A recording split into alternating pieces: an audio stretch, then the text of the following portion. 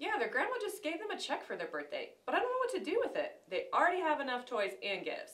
What I really want to do is to start some sort of college or new car fund for their future.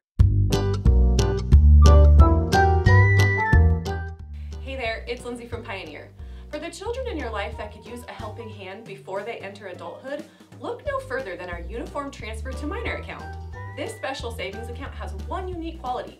The child can't access the funds until they turn 21.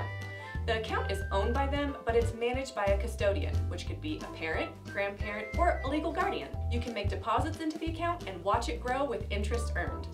Then when they become of age, they can withdraw the funds. For more information about this account or to open one online, click the link to our site. Thanks!